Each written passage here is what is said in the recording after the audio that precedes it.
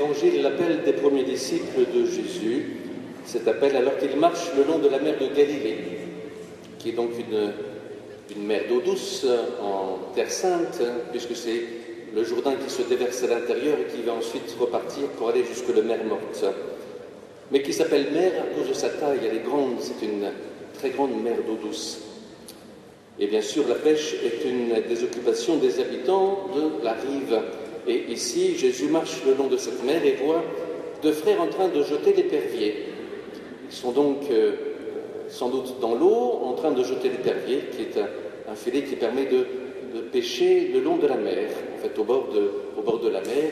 Et c'est souvent une pêche pratiquée par les plus pauvres. Souvent, ils n'ont pas de bateau s'ils jettent l'épervier. Et on peut interpréter, mais on n'est pas obligé de le faire ainsi, avec euh, l'appel de Pierre et André, sans doute euh, plus pauvres que Jacques et Jean ensuite, qui sont avec leur père dans la barque. C'est une possibilité. En tout cas, c'est Jésus qui les appelle là, et qui les appelle à sa suite ainsi. Simon et son frère André, puis Jacques et Jean. Et eux, aussitôt, le suivent. Cette rencontre qui les a transformés ainsi. Alors, lorsqu'on est dans une ville d'eau, comme ici à Martigues, il est bon de fêter Saint-Pierre et d'en reconnaître son saint patron ainsi, et de voir Jésus qui, s'approche de ces pêcheurs et qui s'approche ainsi de nous. Et nous pensons ainsi à tous ceux qui vivent de la pêche aujourd'hui. Ici, les prud'hommes sont représentés et les pêcheurs donc sont représentés. Ce métier dont vous vivez, et il est bon de voir Jésus s'approcher ainsi, être proche de ce métier. Et puis, de la mer, il y a aussi tous ceux qui vivent avec le loisir, en particulier avec la voile, avec la pêche aussi en tant qu'amateur, et tous ceux qui vivent d'une manière ou d'une autre de l'eau ainsi. Et nous sommes invités à nous confier, à nous confier à Pierre ainsi, qu'il soit notre compagnon dans cette route. Il nous a montré un chemin qui conduit, qui conduit jusque dans la vie et jusque dans la vie éternelle. Et il est bon de nous confier à lui pour notre vie, pour notre vie, pour qu'elle soit belle, qu'elle soit belle et qu'elle soit ouverte aussi à tous. Saint Pierre a une lettre et vous avez entendu ce qu'il écrit. Avant tout, ayez entre vous une charité intense pratiquer l'hospitalité des uns envers les autres sans récriminer. Voilà ce que Pierre, ce à quoi il invite. Et je me rappellerai que le mot équipage vient euh, d'un mot qui est un mot qui est de la mer, puisque le vient d'un mot qui veut dire partir en mer, à l'origine du mot équipage, le mot équipe, partir en mer ainsi.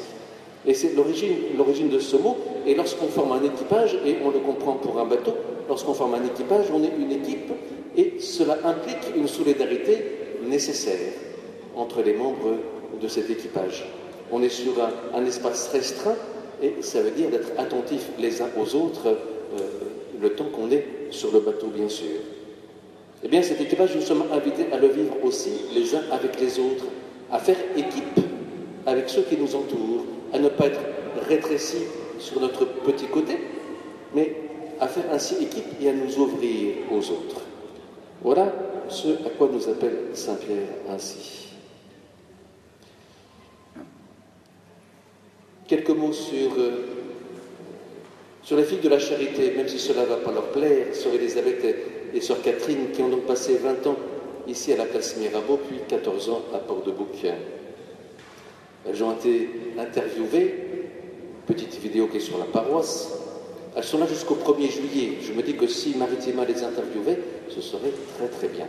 Si je peux me permettre de lancer ceci, vu ce qu'elles ont fait sur la ville, ce serait très très bien si euh, Maritima les interviewait ainsi.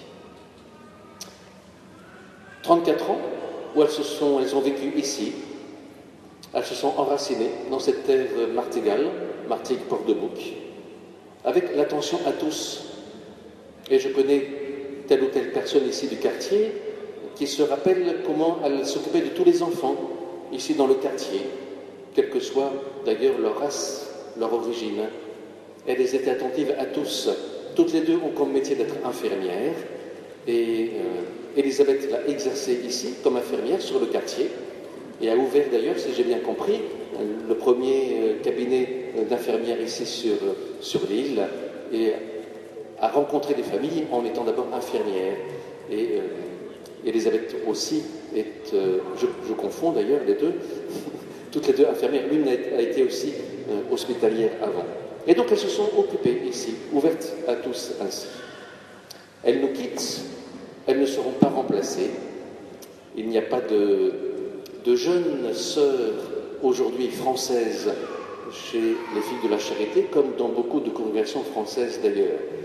Elles ont des jeunes sœurs, mais dans d'autres pays, dans des pays lointains, en Inde, en Corée, en Afrique, où il y a beaucoup de vocations dans ces pays-là. Et il est vrai que chez nous, les vocations euh, sont plus rares. Plus rares dans une j'oserais dire, dans une vie plus confortable, où chacun se rétrécit sur soi, et où l'idéal est, d'avoir, euh, de vivre sa vie le mieux possible, chacun en se rétrécissant un petit peu, c'est un peu ce que je sens, et que le don de soi est moins développé aujourd'hui qu'il ne l'était sans doute avant. En tout cas, cela peut dire pourquoi il y a si peu de vocation aujourd'hui de donner sa vie ainsi à la suite du Christ et pour les autres ainsi? Ceci étant, je lisais un livre que j'aime bien d'un frère italien sur la vie religieuse. Et il disait ceci, c'est pour consoler les sœurs, hein, d'une certaine manière. Il disait ceci. L'avenir d'une communauté religieuse ne sont pas dans les jeunes qui rentreraient dans la communauté, mais c'est Jésus-Christ, l'avenir d'une communauté religieuse, en fait. Et c'est clair pour chacun de nous.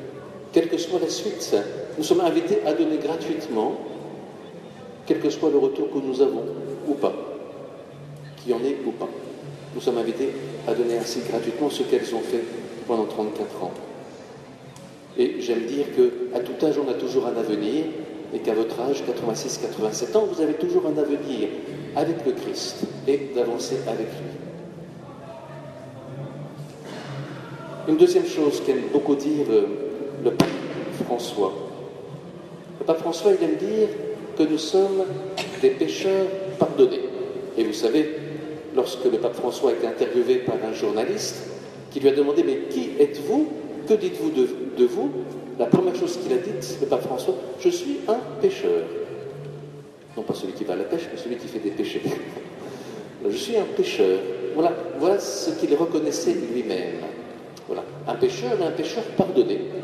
Un pécheur pardonné qui me relève et nous nous rappellerons que Jésus a fondé son Église sur Pierre, qui l'avait renié.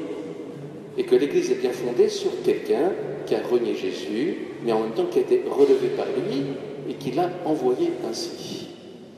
Et nous nous rappellerons hein, ceci.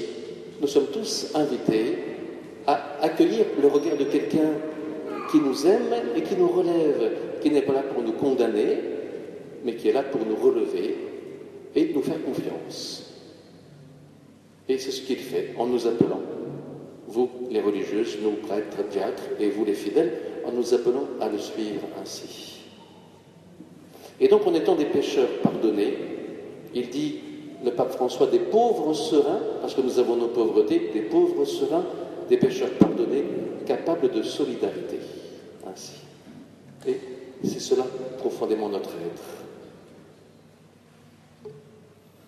Je terminerai par, par cette citation de ce, même, de ce même frère.